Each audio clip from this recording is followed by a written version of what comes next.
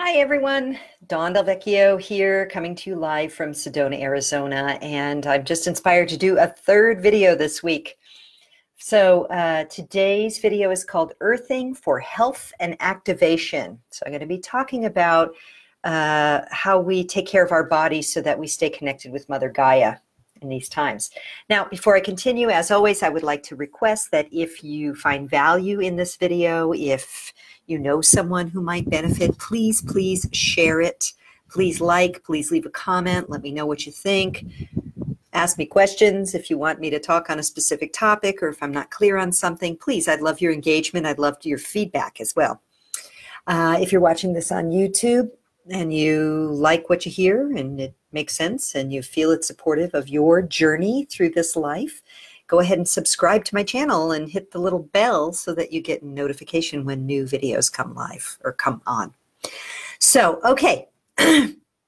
so today's, uh, oh, before, uh, one more thing I want to say is thank you everyone for all the birthday wishes yesterday. It was wonderful.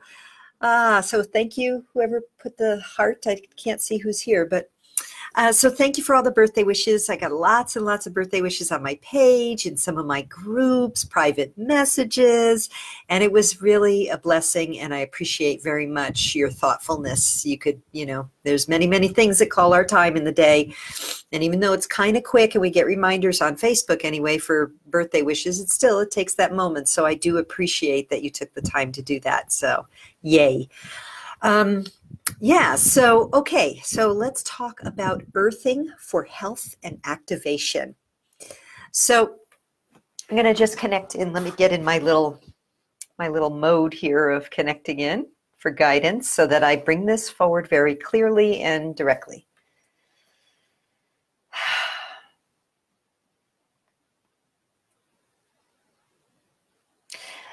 I've said many times before, the frequency of Mother Earth is raising. We know this. This is a, this is a scientific fact. The Schumann resonance, which is can be known as the heartbeat of Mother Earth, is increasing in frequency, and I believe it's um, you know, this the I forget what that's called. The hmm, there's a word for it anyway. We know her frequency, her energy is raising. We know that our solar system is moving through this part of the galaxy that is of higher frequency, we know that people are waking up on planet Earth. Some are waking up to the political toxicity, oppression, lies, fakery, and getting very angry and distressed. Some are waking up spiritually to the recognition of who we truly are as divine eternal beings, much more powerful than any system we have collectively created and put in place. So there's a few ways we can go about this. When we wake up and recognize we're divine eternal beings having this physical experience, and that these physical bodies are actually demonstrations of limitation, if we're doing spiritual bypass or not connecting with our lower chakras or the physical part of us, it could be very easy to just be like, well, none of this body stuff matters. I'm just going to go to the higher realms because I'm out of here as soon as I can anyway. but my feeling is that we're here for a reason. And whatever that reason may be, I mean, I have a sense of it, but that's a topic for a different video. Uh, trying to escape where we are is a resistance to what is.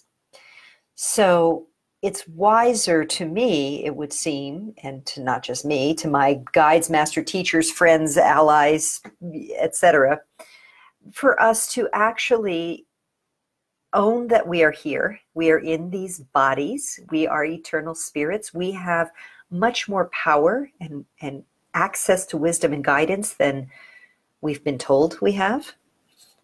And um, we're a little bit in a planetary pickle right now. So, as we get activated to awaken, we have to find the ways that will allow us to hold the light, to be in service to the awakening, and to also not get fried from the frequencies.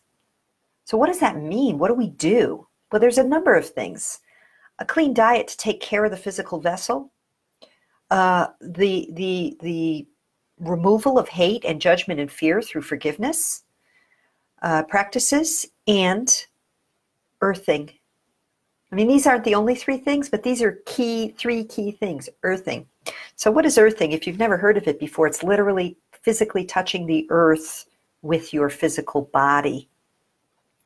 Now, um, earthing actually can remove uh, EMF frequencies from your field, so it can reduce the frequencies that you're emitting or connected with. I'm, I'm not speaking in scientific terms because I can't speak to this aspect of it on that level, but I've seen it evidenced, so I know you can you can easily Google search it.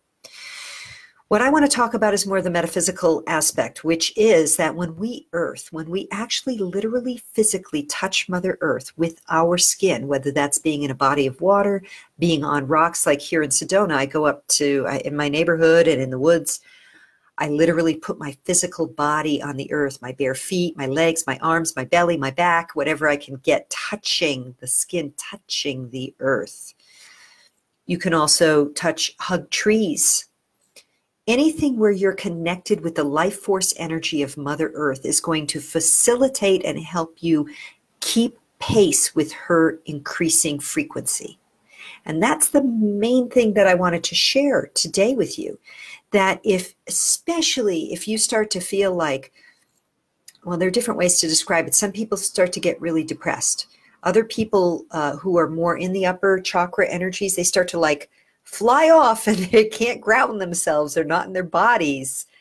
Other people uh, get into anxiety or fear states um, or anxiousness. That's one of the places where I can tend to go is anxiousness, especially when I have overwhelm of a lot of work, which is one of the things that's happening for me right now.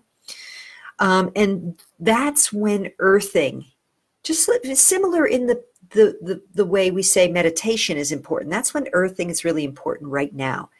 When we literally get our physical bodies touching Mother Gaia, who is an alive being with a consciousness aware of all of us on her body, when we connect with her, we invite and welcome not only a relationship with her, but we invite her to help us to keep pace with her increasing frequency.